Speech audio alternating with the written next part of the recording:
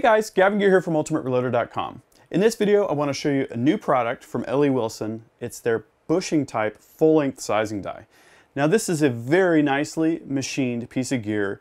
It's made out of stainless steel and it's a bushing type die, meaning you have precise control over how much neck tension you're going to have in your loaded rounds. You're also going to get enhanced concentricity because of the ability for that bushing to float slightly. So for precision rifle, this is a great way to do your sizing. What we're going to cover is an overview of this new product. We're going to look at the math required and the measurements required to figure out what size bushing you're going to need to buy. That's purchased separately. And then we're going to set it up on the press. So let's get going. So this is a uh, familiar looking box for those of you that have purchased uh, Wilson gear. Let's see what we've got inside here. So as we would expect, we've got the main die body. We've also got uh, a few things. We've got the Allen key, which you can use to adjust the set screw, which will lock the lock ring down to the die. We've also got an extra Allen, Allen screw and plug, which is what provides the tension against the threads to lock the, the lock ring down. Uh, in addition, we've also got a spare decapping rod, which is definitely uh, real nice. You're also going to need a bushing. We'll get to that in just a moment in terms of determining the size of, of the bushing that you're, you're going to need. So take a look at this die. I mean, it's, it's just a, a really finely crafted piece of gear. Everything works really smoothly. Uh, so the, the decapping rod here, uh, one thing to note is that there's this knurled lock screw here.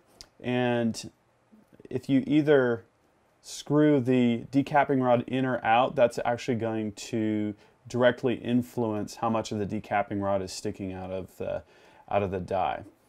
So again, we'll, we'll get to that in just a moment because the bushing is kind of an integral part of, of this uh, piece of gear and setting it up. So real nice piece of gear. Real, I really like how the, uh, the lettering is etched on there. Just really cool. So first thing to do, let's figure out what size bushing we're going to need. So the first step in determining the required bushing size is going to be to measure the case neck thickness of our brass.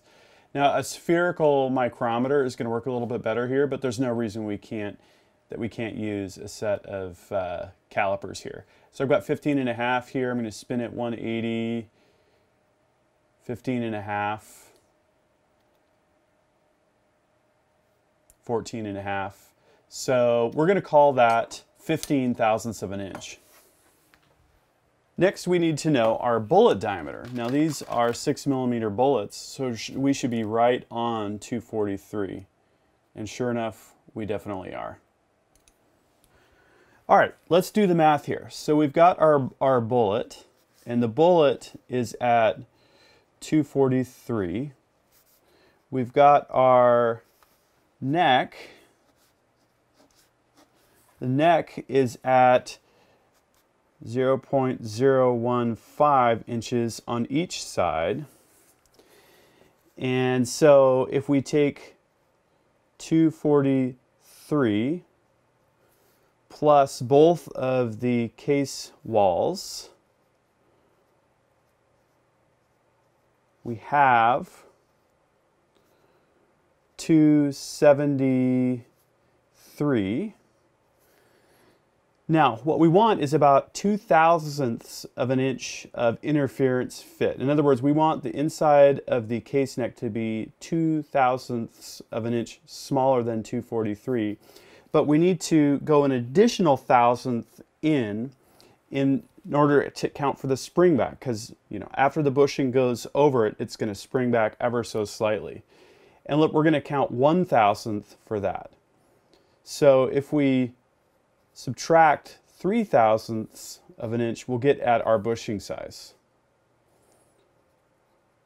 270 thousandths of an inch Okay, we survived the math. That wasn't too bad. So now we need to put our bushing in. So I'm going to take the whole decapping assembly out. We've got our bushing, 270. That out of the bag. Now notice there's two sides here. If you read the write-up in the accompanying blog post, I've got a little bit of detail. You can actually flip these around for, for different effects on the neck sizing process. But we've got 270 stamped on here. We're gonna want that facing up for the default configuration. And then we're just gonna take this uh, decapping adjustment plug and we're gonna screw it down so that it's uh, finger tight you a better view there. And what we want to check for is that we have just a little bit more than an eighth of an inch of decapping rod protruding, which I do. Uh, if you don't, you can just take that black lock nut that's on the decapping plug, loosen it, and then screw the decapping rod in or out to get more or less protruding. So now we're ready to put it on the press and set up our sizing depth. Okay, so here we are on the lock and load iron. We're gonna drop in a bushing and start the die down. We're gonna raise the ram all the way. And to start, we're just gonna seat this down against the shell holder. Make sure of where we're at. Yep, okay. We're gonna hand tighten our lock ring and we're, we're gonna see where we're at. Since this is the uh, first case through the press, I've applied a generous quantity of lube. Let's check and see where we're at now. So what we need to do next is take our, our case gauge. We're going to take a, a once fired case and the case that we just sized and compare the two. So we start with the, the once fired case. And what we're doing here is we're getting a, a reference, essentially a, a datum. So I want to hold this nice and tight. I'm going to see where that lands. It's right at 4 under the 0.1 inch reference mark. Now let's compare that with our sized case. And again, we bottomed this out against the shell holder. So typically we're going to get an excessive shoulder bump reading there. So we're at negative 10, negative 11. So essentially we need to back this off 7 thousandths of an inch of shoulder bone. So let's back the die out a little bit. This is why we start with just a hand tightening of the lock ring. So I'm going to back that out oh, about yay far. We'll see where that puts us. We're going to take another one of our cases apply some lube both to the both to the outside and then I also like to roll and do a little bit of an inside the neck uh, with a q-tip. Okay, so let's see where this takes us.